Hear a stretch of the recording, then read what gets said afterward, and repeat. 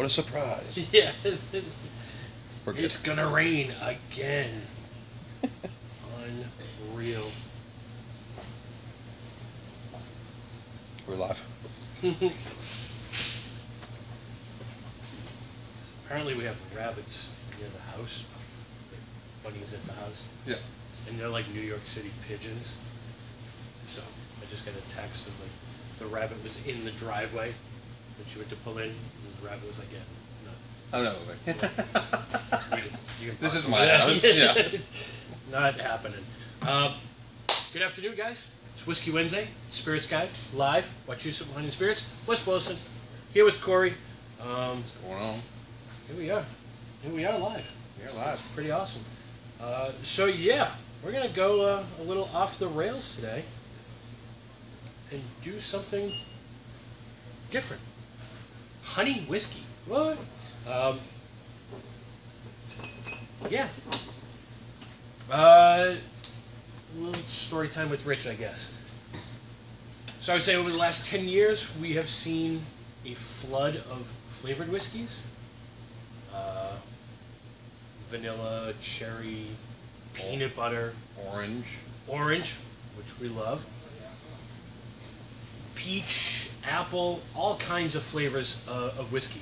Um, and it's something a lot of the big names are doing to know, bring more people into the whiskey fold, make it a little bit more accessible. Uh, flavored vodkas were big in the 90s. Flavored whiskeys are big now. And it does sort of expand the category, um, brings more people in. I know some whiskey purists kind of frown on them, uh, but as we can attest, Sting, great flavored whiskey. Uh, Jim Beam Orange, fantastic. What is going on? We have a dog on the loose. Yeah, there's a there's a dog in the store. I saw it walk in. I was like, there's no way. Things things are happening. It's it's getting a little weird in here. Um, but actually, the oldest flavor of whiskey uh, is honey. It was the first flavor to be added to whiskey. In an American whiskey, it starts in 1976 uh, when Jimmy Russell adds honey to wild turkey, uh, creating something called wild turkey liqueur, what we today know as American honey. Um, they would later update that uh, with Sting, uh, which is basically the American honey with ghost pepper added to it.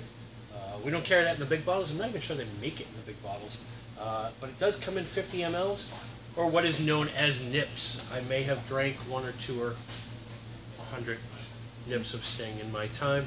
Uh, I actually got to drink Sting at Wild Turkey in Kentucky. It was the first time I tried it.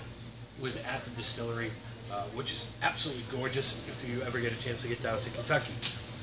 Uh, since then, a lot of the big names have put out honey whiskeys. Uh, Evan Williams, uh, Jim Beam, uh, most recently Jack Daniels uh, has their honey whiskey as well. But in all reality, the history of honey whiskey goes back 150 years. Um, honey's a natural product. We deal with it all the time here uh, with the owner, Charlie, being a beekeeper. So we get a lot of actual, real, natural honey. Uh, you guys buy a ton of it. It's a monster product for us here. Honey has often been thought of as something special and magical and mystical. Uh, when you go back to 7th century BC, uh, sort of the first records of mead, uh, which means they had bees and honey and they were kind of harvesting that honey. Mead is a wine made from honey because honey is a natural sugar source. Uh, that means it ferments. You can ferment it into alcohol Yeah. and make wine. Um, spices were also a big medicinal thing, uh, going back thousands of years. So mixing spices into honey, uh, mixing spices into mead is a natural sort of medicinal thing. Um, mead was considered to be the drink of the gods, um, and only drank by the high priests uh, for the gods. Uh, so that's kind of how special honey is. It's not until the mid 1800s, though, um, when a guy stumbles into Scotland, he's given a recipe for a cocktail uh, that calls for cognac, honey, and spices. Uh, he takes that recipe, tweaks it, takes the brandy out, replaces it with scotch, uh, and in the early 1900s, Drambuie is born in Scotland as the first honey whiskey. Now, while everybody is kind of wrapped up in our honey whiskeys that we do shots of here, we don't realize that Drambuie, much like you, didn't realize it was actually a whiskey. Yeah. Um, No idea. and it's because the laws of Scotland don't allow you to use the word scotch on the bottle if you add anything to it. Uh, so it's actually considered to be a liqueur, but I do believe it is still 80 proof. Yeah, so it's still full strength 80 proof, uh, whereas a lot of your American honey whiskeys are down around 70 proof. Um, this is full, full octane. Uh, but it can only be classified as a liqueur because it has a flavoring added to it. 1940s in Ireland, uh, the Tullamore Distillery, which had been making whiskey since the early 1800s, uh, wanted an alternative product, an, alternative to Irish whiskey.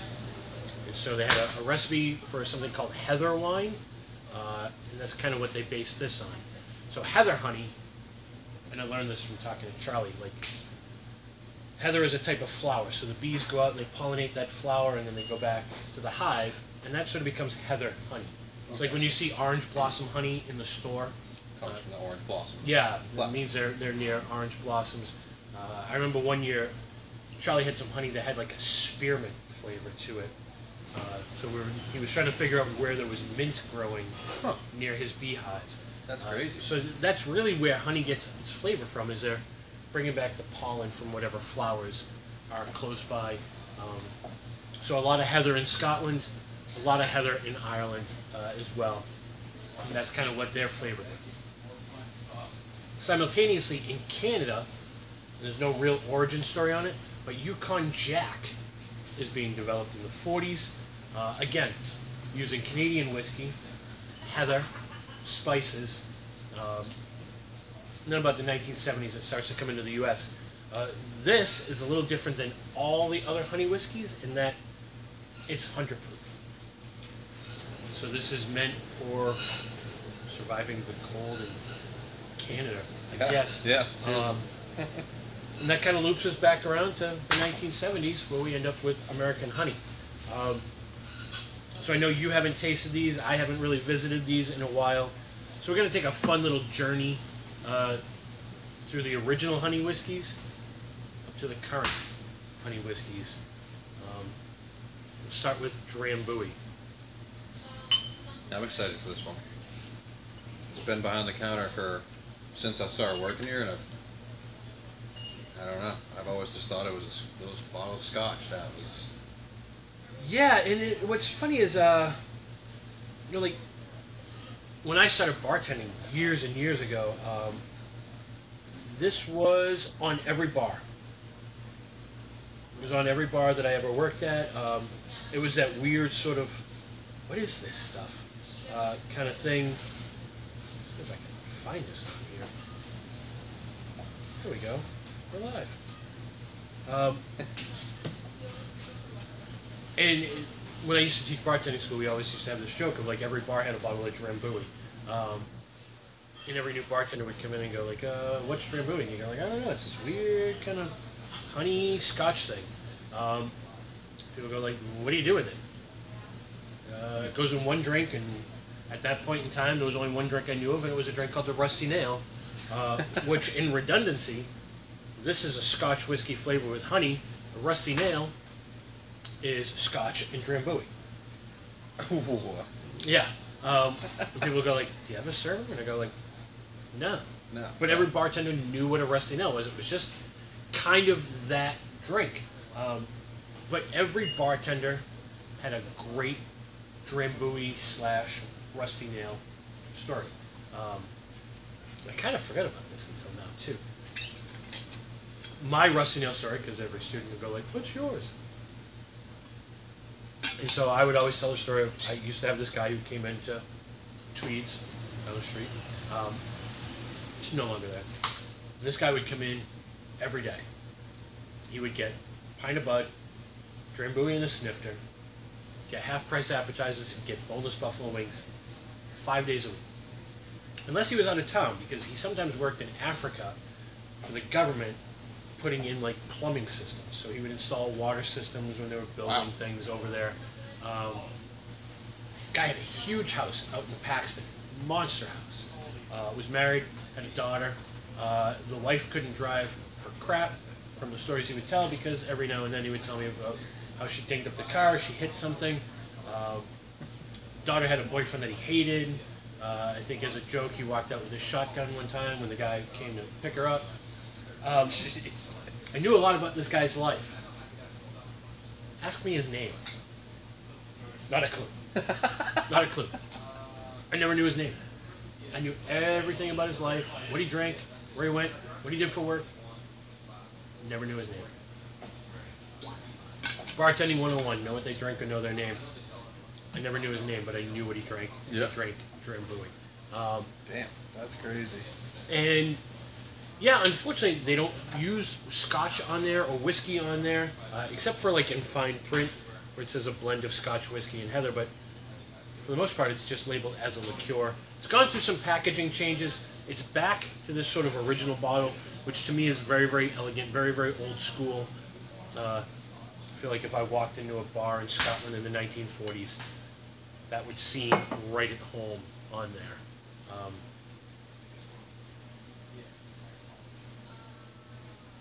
Yeah, there is a weird. Marcy was here earlier. We tasted it. Something about Licorice? spearmint and licorice. Yeah, and I kind of get some of that on there. So they don't give you what's in there for herbs. It's some sort of.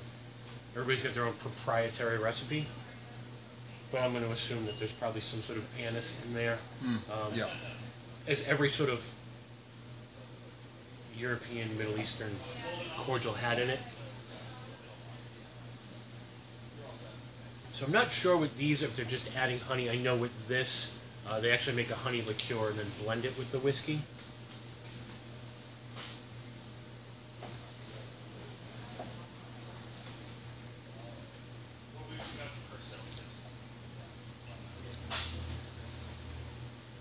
Yeah, I mean, honestly, Marcy's pretty spot on with Yeah. that. It's like spearmint and licorice. Yep. And it still has the burn Yeah, of whiskey. Like That's salt. You I get like all that. the spice. Um, and we may come back on Saturday um, and just make drinks with these. We're gonna make a few today to kind of show you some versatility, but that is just like a hot toddy. If you just took that, Oh, added some hot water to it, you wouldn't even need anything else really. Like No, if you had a really. cold dead of winter, that's that's sort of perfect. Obviously, rusty nail mixing you know some scotch in there works great. Yeah, that was awesome. Yeah. Admittedly, we don't drink a lot of this because it's on the sweeter side. But it really does have its place. Um, Yeah. It's sweet, but it also you can get like that artificial sweetness and stuff. This has like a sweetness where you you get where it's coming from. You know? Yeah. Like you don't get the yeah, I mean the honey parts of teeth it. are- in my the back of my jaw doesn't hurt from drinking this. you yeah, know? yeah, it's not that cloying Yeah. kind of sweetness. So this one, Irish Mist, and this was uh, honestly not sure if I like the new package, but for years it was this weird kind of decanter bottle. It almost looked like a genie I bottle. think I honestly know what you're talking about. Yeah, I feel like everybody's got a grandmother who has a bottle of that like, Yeah, in their house. Um, but again, this is made at Tullamore Distillery. Heather flower honey. Irish whiskey, spices. This is another sort of old school bottle. Um, I feel like unfortunately needs to make a comeback like Drambuie. Like with as popular as these things are, and I, I feel like as Americans we just sort of believe we invented everything. We kind of forget that the rest of the world was doing it well, well before us. Yeah.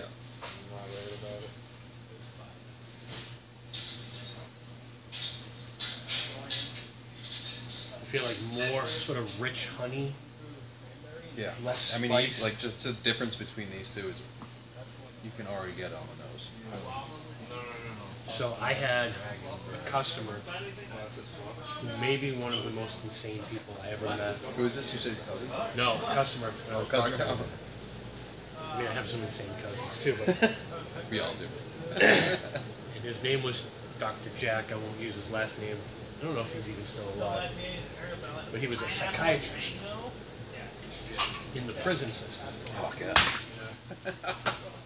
at Walpole. Oh my gosh. This story keeps adding on. when Walpole was Walpole. And uh, See the Dark Junction now. I used to live in Walpole for like 20 years. Cedar Junction. he used to come into the bar every night, and I'm so happy I get to tell this story on video. Um, he was nutty. So he dealt with the no darkest of the dark. He dealt with people who did unspeakable things. Um, I won't mention what he used to tell me, um, other than to say that there was one night he came in.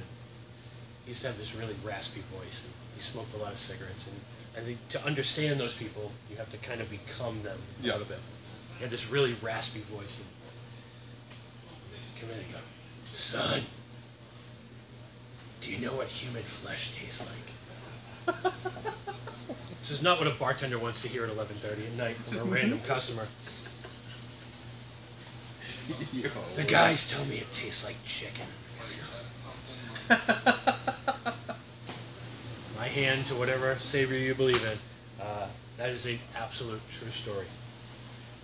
Oh my god. My other favorite Jack story was he would come in and go, Son, I like you. When the day of reckoning comes, I'm going to give you three seconds to duck. Honest, true story. Hey, man, At least he's looking out for you. Yeah, I mean, I had three seconds to get below the bar before he unloaded. the day Um, of reckoning. the day of reckoning, as he called it. Um, yeah, that's crazy. But Dr. Jack would drink two things. Polar opposites. He would drink what he called Moby Dick. So it was an earthenware coffee mug filled halfway up with Irish mist, topped with black coffee. Or he would drink white Zinfandel. Are you serious? Bartenders cannot make this stuff up. This is real. So that's my Irish mist story. I miss Dr. Jack. Here's a Dr. Jack.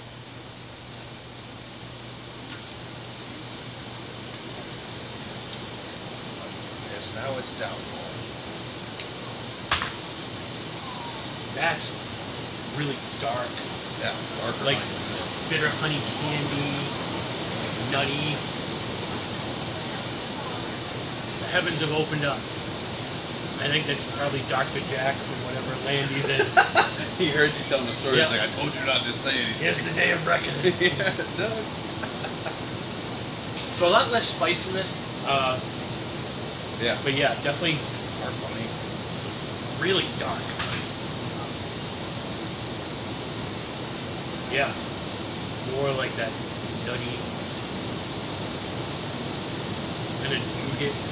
Yeah, it's like the same. Like we're not like, into the sweet stuff, but like this is a nice refresher from Yeah, the bourbon, and the scotches that we like and stuff. So it's a good sort of nightcap too. Like, got a couple. You want one more before you go to bed.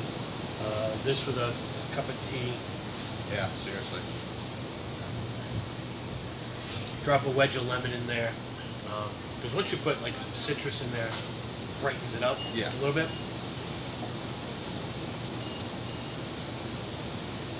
Yeah. Again. So you're 70 proof. So a little bit more sweetness than the Drambuie. But yeah, very, very tasty. Again, another honey whiskey. And like we always try to say, like, just because they're all honey whiskeys, they're all distinctly Different. Yeah. different. I mean, the difference between those two is drastic, for sure. Like you can definitely tell the difference. All right, the big, the bold, the black sheep of Canadian liquor. Yukon Jack. It's another one that people. These say honey on the label, so people kind of know that they're honey liqueurs. They don't realize that they're honey whiskeys. People just think this is a whiskey, and there's no sort of sort of indication that it's honey flavored. Uh, but again, honey and spices. You get Scotch whiskey, Irish whiskey, Canadian whiskey. At 100 proof. Um, when I first started bartending, this was a big, big shot. Squeeze a little bit of lime juice in there. Would be called snake bites. What they make this up? Yeah, yeah, they actually kind of flavor it up a little bit. They make a lime one. They make like a fire. Yeah, I think they make a fire one. Uh, they make an apple one. Yup. They used to make something called permafrost, which was like their McGillicuddy's, yeah. Okay. But their whole thing is that they were 100 proof.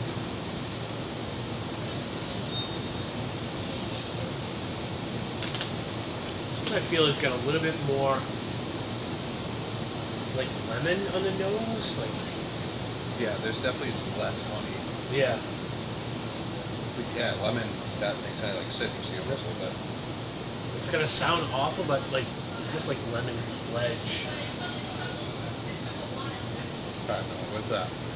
Like something you clean your tabletop with. Okay. Uh, okay. like yeah. a furniture Yeah. cleaner. Yeah, yeah, yeah. I can, I can.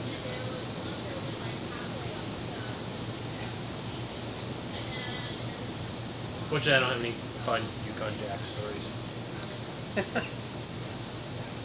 It This happens to be 100. Yukon Jack, though. Yeah.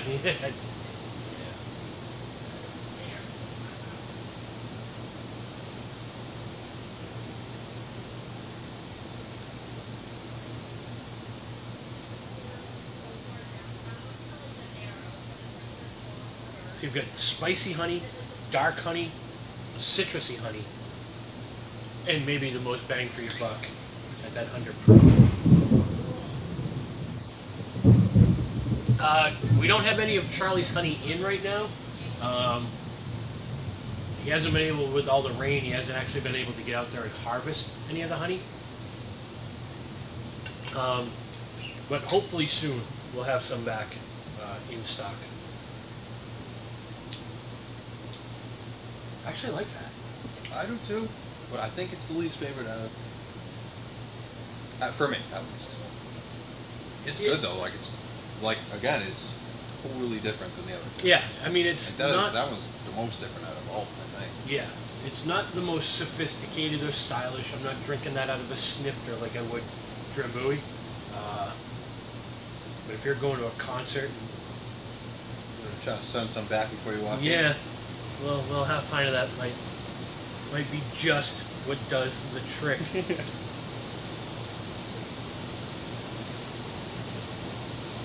Since we're at it, we might as well kind of go after a couple of styles of American honey flavored whiskey. Um, we'll start with the Evan. This was the first one I ever had. I remember when this first came out.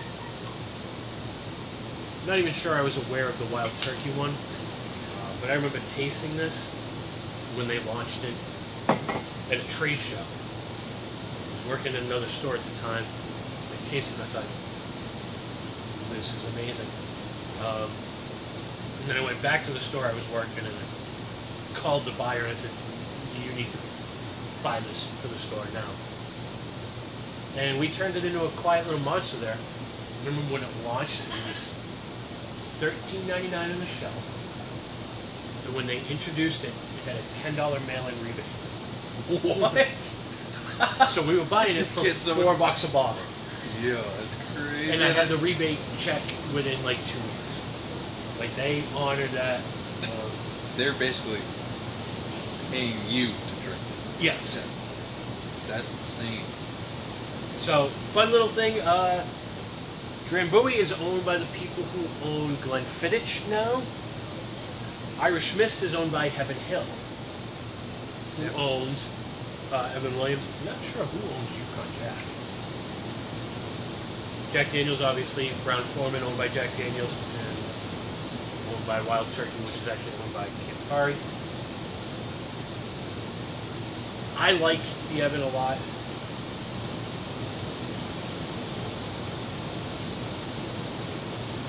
Good balanced whiskey, um, honey. In comparison, though, wow, is that so much sweeter? So much sweeter. It's like that sticky Yep. thing you get on your lips. It's like, Mm-hmm. and I feel like just in the color, you can tell like that you're you're using way less, more, maybe the same amount of honey, but I feel like the honey is just lighter. color. Yeah. It's uh, It's good though. I mean,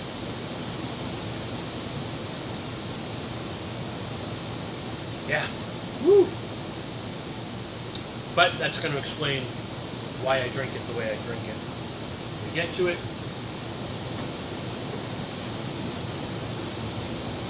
And then the last one we'll taste.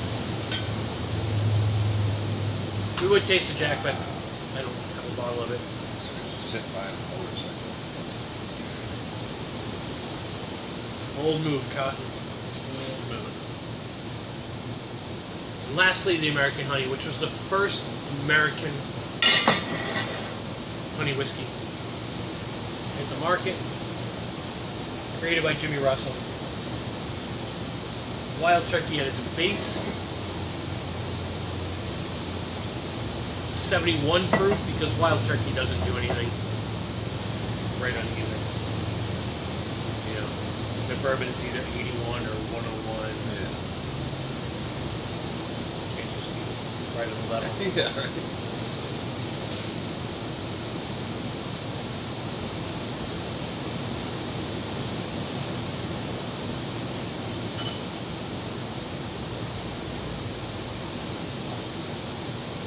And you can tell the difference between the Wild Turkey base and the Evan Williams base.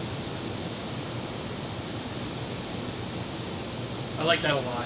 Uh, The American honey reminds me of like what's that cereal, corn jacks or something like that. oh yeah, like um, like corn pops or Yeah, corn pops. Yeah. Honey was. or like Super Smacks or whatever. Yes, yeah, yes. Yeah, Sugar Smacks.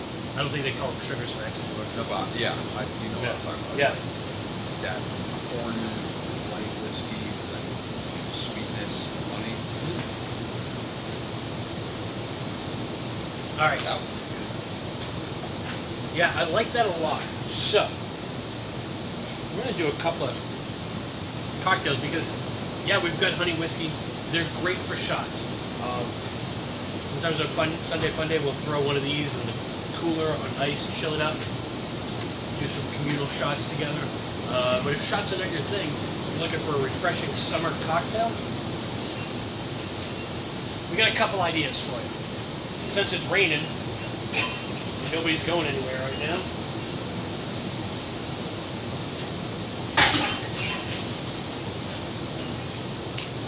We'll give you a couple ideas.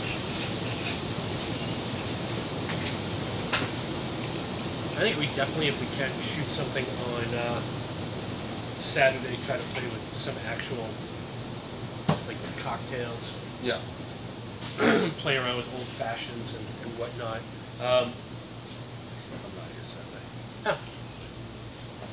We'll come back in two weeks. I got a family thing.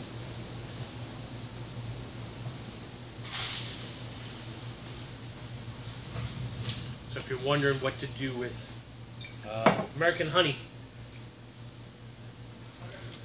some unsweetened iced tea. So we already got the sweetness from the actual Yeah. whiskey, so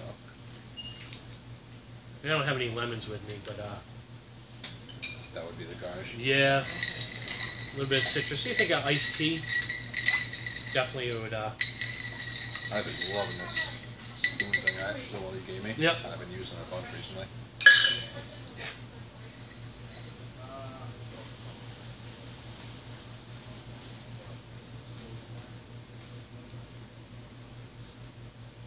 I mean, yeah, come on, dude.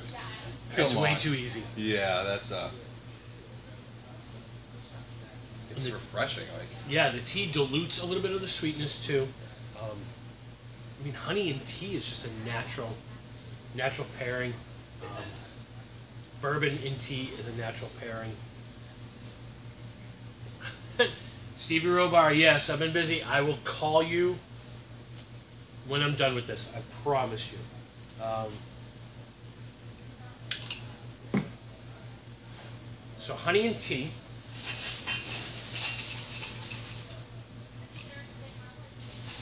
I feel like I feel like I want to do the Dream Buoy. Yeah, I want to go back to that to be honest. The Drambuie.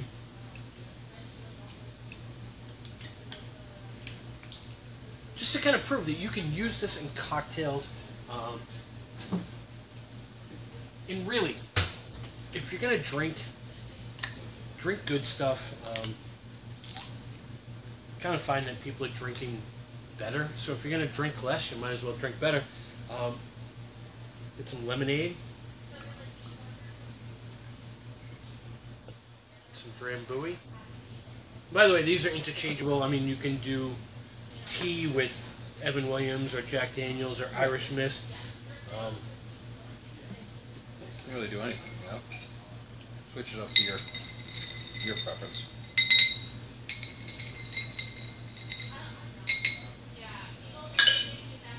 a sip and then try something.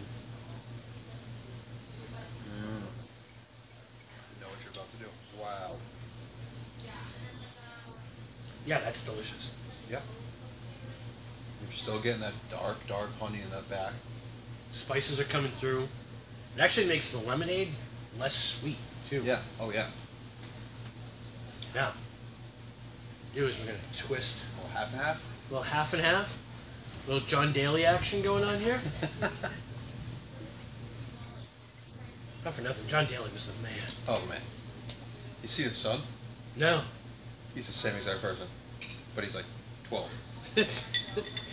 Little hefty mullet, absolutely bombs the ball. Doesn't drink yet, but he's probably smoking cigarettes. probably. yeah. I kind of want to freeze that and make popsicles out of it. I mean, that is unreal. That being said, I actually think this one might work a little bit better in that. But- yeah. Again, they're all sort of interchangeable. You freeze it like this, make like an Italian ice type thing out of it. Eat it. Yeah, that's pretty tasty.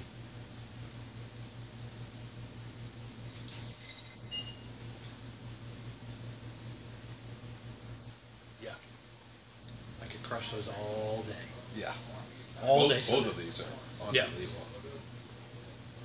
And then the last one we'll do, and let you guys get back to the rain or maybe you'll leave and come down here and buy some whiskey.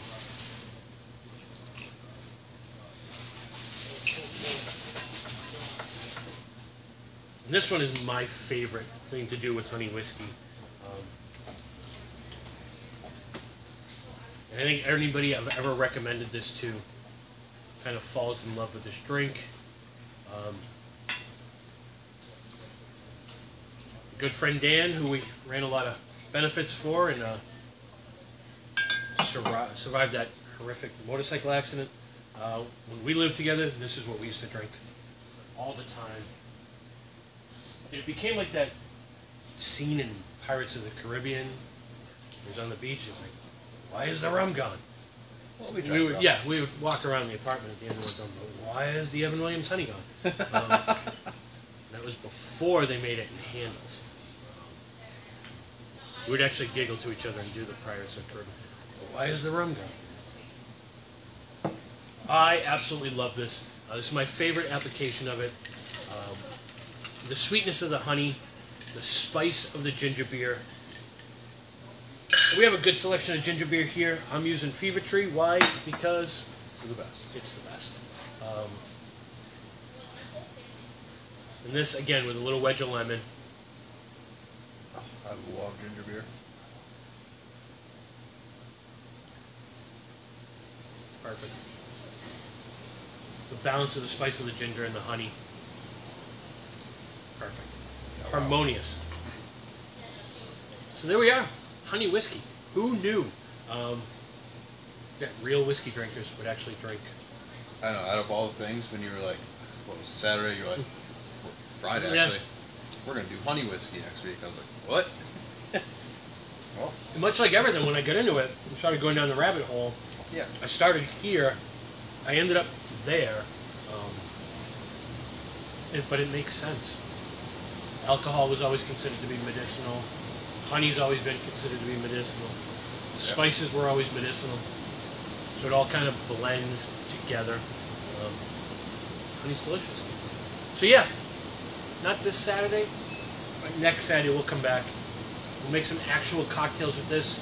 Um, try to give you even more ideas of what to do with it. Until then, lemonade, iced tea, ginger beer, In rain. and rain. Cheers. Thanks, guys.